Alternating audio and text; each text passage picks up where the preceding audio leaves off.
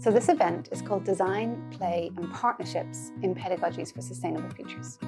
The collective of people coming together believe that interdisciplinarity or transdisciplinarity even is what's required in pedagogies responsive to current climate, um, current conditions for sustainable futures.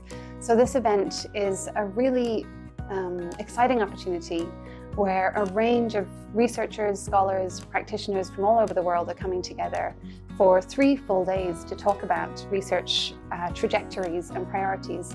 But on the 20th of October at four o'clock, we're going to bring them together for a public audience um, in a panel structure to talk about issues of design, issues of play and pedagogy, and issues of ethical partnership.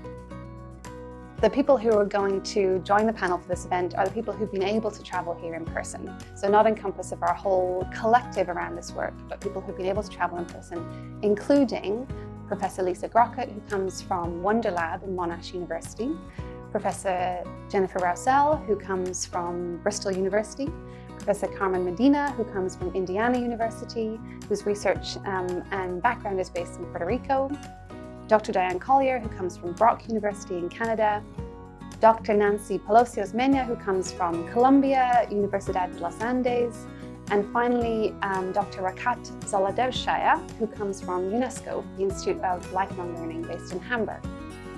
Together, we'll talk across these spaces of design, of play, and of partnership, and we will also share a couple of very exciting new publications that have come from this group. Um, so it will be a panel combined with a book launch. We'd be really delighted if as many people as possible could come along and make connections with these incredible scholars from all over the world.